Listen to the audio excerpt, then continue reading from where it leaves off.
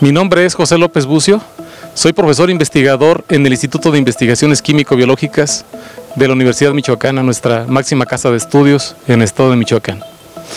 Eh, en este momento soy responsable del Laboratorio de Biología del Desarrollo Vegetal y nuestra principal área de, de trabajo es el mejoramiento genético de plantas.